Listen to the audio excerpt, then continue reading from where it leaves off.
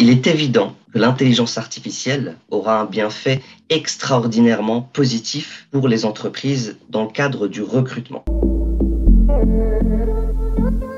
Alors, je m'appelle Badre Boussabat, je suis économiste, politologue, auteur de l'intelligence artificielle Notre meilleur espoir et également entrepreneur euh, sur l'intelligence artificielle.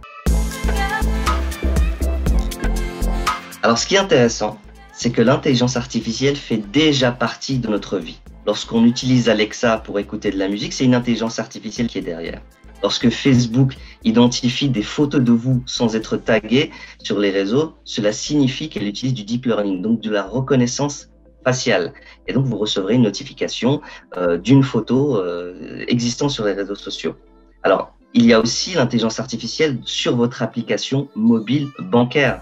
Lorsque vous effectuez des transactions et que l'une d'entre elles est inhabituelle, alors directement l'intelligence artificielle de l'application bancaire la bloque.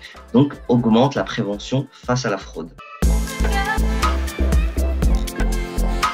Alors, l'intelligence artificielle dans le cadre du recrutement permet justement d'automatiser la tâche euh, de ciblage des CV ou des candidats potentiels dans une entreprise. On sait aujourd'hui que dans les ressources humaines, on prend entre 30 secondes et une minute pour lire un CV.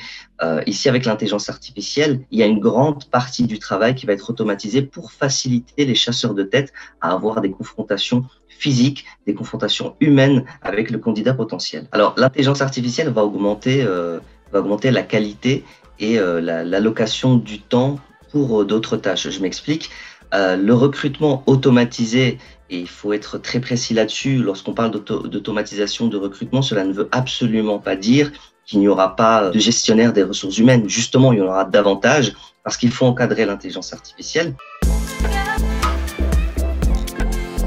Alors disons-le, contrairement aux préconceptions qu'on pourrait avoir sur l'IA, en réalité, elle nous aide à nous concentrer sur des interactions humaines et sur une dimension humaine profonde même sur le marché de l'emploi. Et ça peut rendre le recrutement plus humain euh, si l'IA est bien constituée. Ça, c'est une certitude.